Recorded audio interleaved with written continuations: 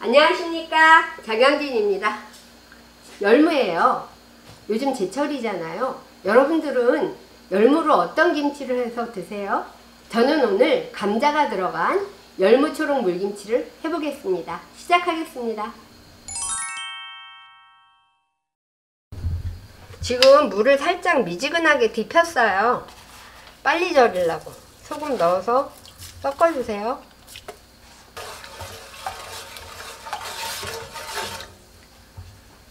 저는 한 40도 정도 되는 소금물로 약간 따뜻한 물로 이렇게 절여요. 그럼 빨리 절거든요. 근데 이렇게 뜨뜻한 물로 절이면 느낌에 좀 얘가 완전히 익으면 왜 물러질 때가 있잖아요. 열무가 좀 덜 물러지는 것 같아요. 자, 이렇게 납작. 너무 두껍지 않게 납작납작. 아니, 감자를 저렇게 납작납작? 깜짝 놀라실 거예요. 지켜보세요.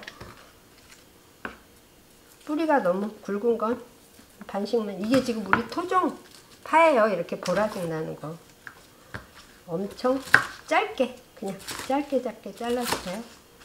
한 3cm 정도? 어차피 갈 거예요. 그냥 듬성듬성 잘라주시고요. 마늘도 어차피 갈 거니까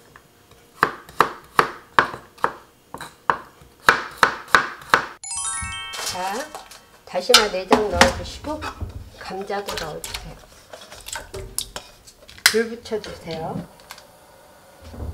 끓이기 시작합니다.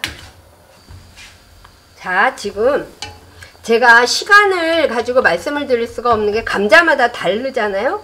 근데 이게 어느 순간 딱 익어서 젓가락 넣었을 때 쌀캉하게 들어가는 순간이 있거든요. 그럼 얼른 불 끄셔야 돼요. 완전히 익히는 게 아니라 쌀캉하게 들어가는 순간 이제 얘가 물이 식으면서 완전히 익는단 말이에요. 그러니까 조금만 더 있어야 될 것 같아. 자, 이제 2분 됐으니까 꺼낼게요. 다시마는. 이렇게 보여드려야 되겠네. 됐죠? 그럼 이제 불 끄는 거예요. 그리고 이대로 식혀주세요. 그러면 이 불 안에서 이 쌀캉했던 감자가 정말 알맞게 익혀져요. 그래서 김치를 했을 때 같이 먹으면 너무 맛있어요.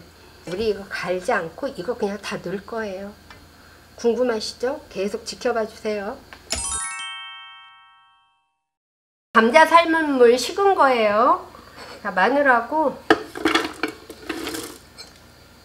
자, 물 부으시고 그냥 갈아주시면 돼요. 진짜 쉬워요 이 김치. 열무김치를 담갔어요. 근데 열무김치가 질겨. 그거 왜 그런지 아세요? 두 가지예요. 하나는 열무가 너무 센 거를 산 거. 두 번째는 너무 오래 절근 거예요. 이렇게 구부러지죠? 근데 얘를 이렇게 하면 이렇게 분질러져요.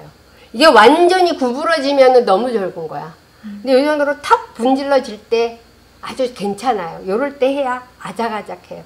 자, 이제 이거 깨끗이 씻어줄게요. 근데 그 왜 씻어서 우리가 절이기도 하잖아요. 열무를 자꾸 만지면 좋지 않기 때문에 이렇게 아예 절여서 씻어요. 이제 깨끗이 씻어 올게요. 감자 하나 먹어볼래? 음, 감자 다 익었는데 약간 씹히는 느낌이 있네요. 음, 힘이 좀 있어. 네네. 그래야 돼. 음. 안 그러면 부서져서 안 돼요. 음. 자, 설탕.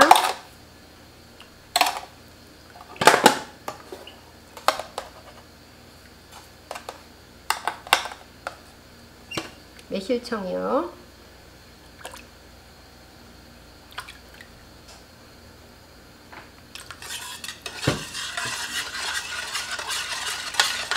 좀 요게 살짝 간간해야 돼. 간간해야 된다고요? 음, 살짝 간간. 음, 맛있다. 맛있어. 이 자체로. 감자가 끓은 거잖아. 김치 담급니다. 자, 열무 넣어주세요. 자, 이거 부어주세요. 그리고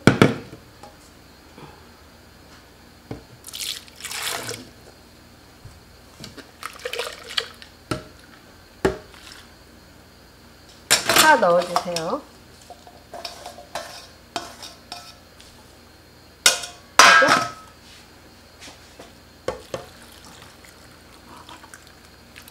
이 부어주시면 자, 딱 국물 맞죠? 이렇게 자작자작 담기게. 그래서 바깥에 두세요. 그리고 아침 일찍 냉장고 넣으시면 돼요. 자, 지금 요 간 된 거 한번 정량 먹어보라 할게요. 좀 매울 거야. 톡 쏘지 목을. 네. 음, 아, 자, 목을 이제. 후려치는데요. 자, 요, 요 상태로 오늘 저녁 놔뒀다 내일 아침에 냉장고 넣으시는 거예요. 자, 요거는 제가 그저께 담근 거예요. 자, 이거 목이 맵다고 했거든요. 이건 어떤가 보여줄게요.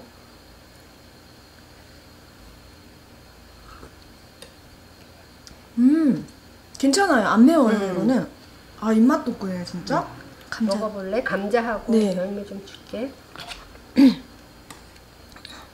누가 보면 문 줄 알겠어요. 음, 다들 뭔지 아셔.